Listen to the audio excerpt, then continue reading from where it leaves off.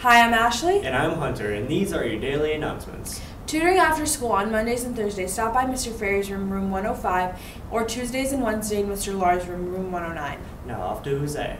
Seniors wanted to enroll in CTE their senior year. Need to set up an appointment with either Miss Campa or It's Patrick for course selection and scheduling. Thanks, Jose. Attention juniors and seniors. Information on summer job opportunities at Seed Corn Production Field Scout is now in guidance. Now off to Nancy with information on the dance. The Sadie Hawkins dance is March 26 from 8 to 11 p.m.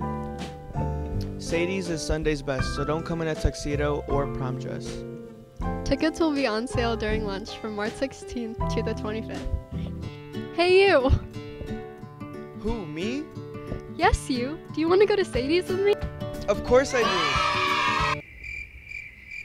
Contact Mrs. Ariola to see if you're eligible to attend. Thanks, Nancy. Seniors, a representative of the Marines will be here on Monday, March 14th to speak to interested students about careers with the Marines. If you would like to speak with them, stop into guidance. Now off to Braden. Seniors, a representative from Western Michigan University will be here Wednesday the 16th to talk to interested students. Stop into guidance if you would like to meet with them. Thanks, Braden. Students' information on the following college open houses or events is now in guidance. Southwestern Michigan STM Day for Friday, March 11th. Indiana University South Bend o- Spring Open House for Saturday, March 12th. Stop into guidance for details. Now to James in the cafeteria. Students, if you plan on taking a dual enrollment class next year at Glen Oak, stop in the guidance office as soon as possible to sign up to meet with Mrs. Pauls on Tuesday, March 8th.